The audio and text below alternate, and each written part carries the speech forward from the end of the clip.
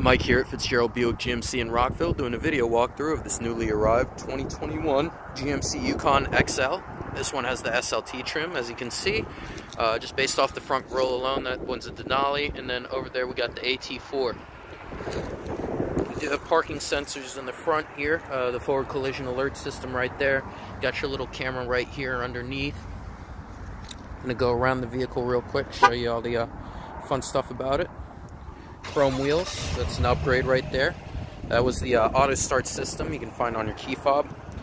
Great for preheating the vehicle um, when you want to hop into a warm car on a cold windy day like today. Got another camera right there underneath the uh, mirror. Keyless entry right here. You have the running boards. Um, those are constantly out versus the Denali. Denali is going to have the uh, electronic running boards do have the Bose upgraded sound system, which is nice. Got these mirror fold-in buttons, um, also very useful. And then showed you the, uh, the blind spot monitor. Um, mirror fold-in buttons, very useful for those tight parking spaces when you're at Tyson's or Montgomery Mall or wherever you go. Electronic parking brake, auto start, auto start stop, lane keep alert, um, parking collision sensors, Auto will keep it in uh, two-wheel drive most of the time. If the vehicle senses any slippage, kick into four-wheel drive. Um, you do have the uh, tuning modes here, uh, sport, touring, off-road, and trailering. Um, this is for the going to be for your uh, trailering. Uh, it's a manual brake for the trailer, and then this is controlling the electronic brakes. So it's more of like an alert emergency brake, if anything. For collision alert system right there, heated steering wheel. This is the cruise control. Wouldn't be surprised if this one does come with an adaptive cruise control. Not sure off the top of my head, so I'd have to look. Push to start right there. Do got wireless charging right here, which is fantastic. Massive console right here. Great for uh, fitting a whole person there, or uh, a couple of two liters of soda, if you know what I mean.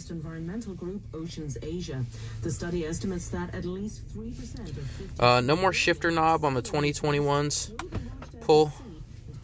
Got the surround vision with this one.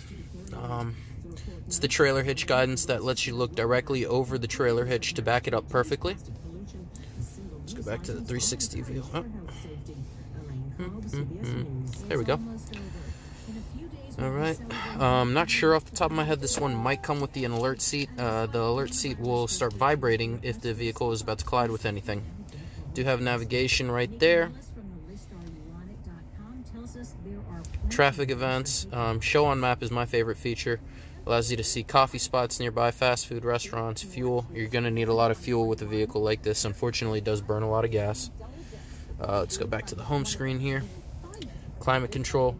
Um, great thing about this is if you have kids and they like to mess with it, you can lock them out using the lock button.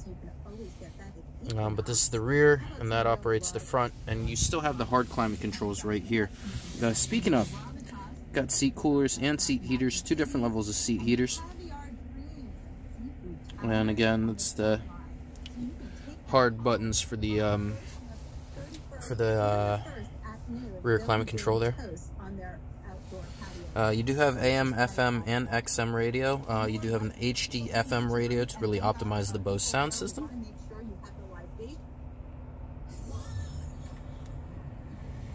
Mm, Apple CarPlay, Android Auto, Wi-Fi hotspot, different users. Um, trailering, once you uh, hook up a smart trailer to this, you'll be able to see a ton of different camera views. Uh, this is the rear media, so you do have um, panels in the back seats there. I'll show you that in a second. And then you can operate the uh, second row uh, using those buttons right there. That's for your uh, trunk adjuster. Uh, let's see here. Uh, and that obviously operates the massive panoramic sunroof. Um, makes it feel like you're almost driving a convertible SUV.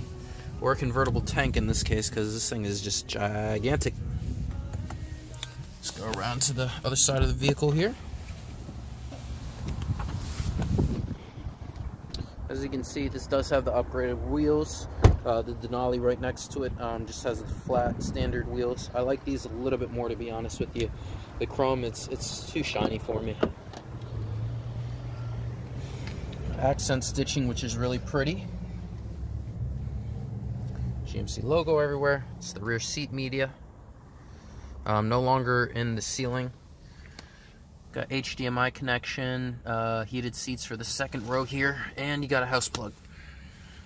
Okay.